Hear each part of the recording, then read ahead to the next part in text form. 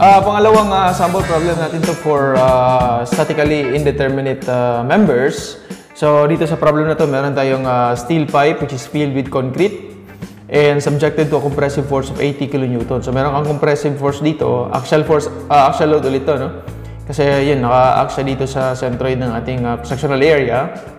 So, uh, determine the average normal stress in concrete and steel due to this loading. So, the pipe has an outer diameter of um, 80 millimeters and an inner diameter of 70 millimeters. So, given na tayo ng uh, modulus of elasticity for both materials, we have uh, for steel, 200 gigapascals. Tapos for concrete, we have 24 gigapascals. So, uh, compared dun sa first uh, example problem natin, uh, baliktad naman to dito ngayon. No? So, naka-encase yung uh, steel, nasa loob naman yung concrete. So, last time kasi nasa labas yung uh, concrete, nasa loob yung steel. No? So, anyway, pareho pa silang composite na uh, system kasi dalawang materials, magkaibang, oh, dalawang components, dalawang members, magkaibang materials. So, ang uh, required sa atin dito is uh, yung average normal stress ng concrete tsaka ng steel. Okay? So, first, uh, cut sections tayo no, para magamit natin yung uh, equations natin for static equilibrium.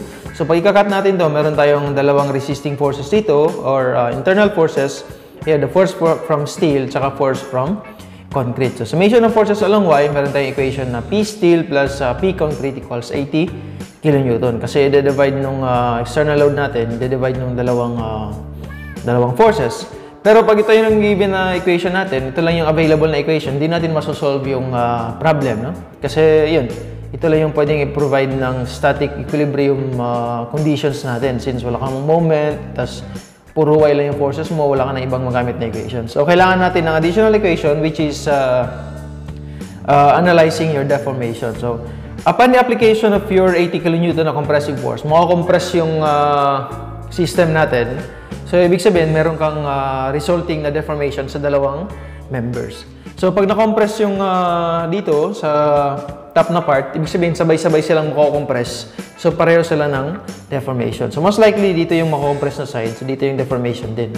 Anyway, so ito yung uh, equation natin for deformation. Dapat pareho lang yung deformation ng steel tsaka deformation ng concrete. No? So, kung iaano natin, ito lang equivalent. So, sa pareho sila ng length, 500 uh, millimeters makakancel yung length natin. So, matitira, we have P over AE steel, tsaka P over AE ng concrete. So, A dito is uh, given kasi meron naman tayong dimensions na binigay.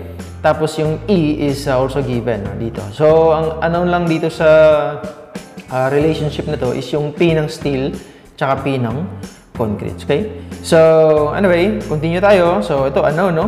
Wala na yung L, na-cancel na. So, ang area ng uh, steel, itong casing sa labas, is equivalent dito sa total area minus area ng concrete. Okay? So, pi over 4 d square, so pi over 4 80 square is yun yung uh, total na area. Sa-subtract mo ngayon yung area na nasa loob, yung inner circle. So, pi over 4 na 70 mm square kasi given yung diameter na inner 70, outer is 80. So, ito yun, no? Ito yung area ng steel natin. Total area minus your area ng inner. Okay? So, nilabasan natin yung pi over 4 since uh, Common naman yan sa dalawa, no? Pi over 480 square, tsaka pi over 470 square. So, anyway, yun yung, uh, ito na yung area ng ating steel. Tapos, ito yung given na 200 gigapascals, which is uh, equivalent to kilonewton per mm square. Okay? And then, sa kabila, meron tayong area ng concrete, which is uh, yung inner, no? Inner na area, uh, pi over 470 square. Tapos, ito yung given na uh, E, 24 gigapascals. Okay? So, ito yung uh, resulting equation natin.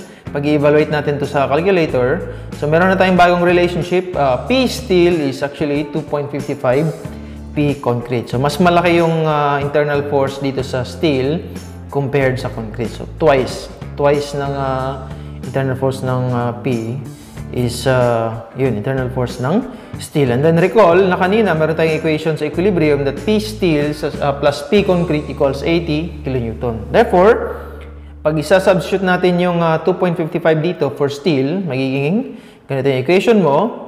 So, P concrete na lang. Masosolve natin yung P concrete as uh, ah, 22.53. Tapos, uh, yung steel is 80 minus 22.53 which is equivalent to 57.47 kilo Newton. Okay?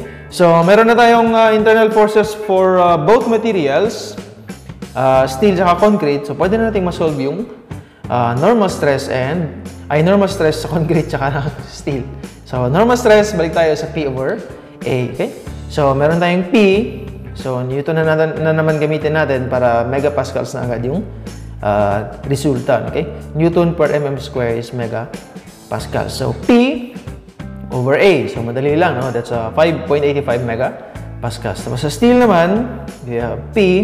Ito ulit yung A, total area minus yung inner area. You will have uh, normal stress for steel, which is uh, 48.8 megapascals. Okay? So, ito na yung resulting uh, stresses, normal stresses caused by your compressive na force na 80 kilo Newton. Okay? So, that's it uh, for this uh, problem. Uh, sana ulit tayo uh, for this uh, problem, no? Ah, dalawang problem siya tayo. Second, tsaka ito, tsaka yung first. Uh, medyo may grasp na kayo, no? Kung paano gamitin yung uh, axial deformation natin ng mga relationship para ma, ano, ma-supplement yung static equilibrium natin ng mga equations. Okay? So, yun. Uh, thank you ulit sa pakikinig and uh, see you ulit sa ating uh, next na mga uploads. Thank you.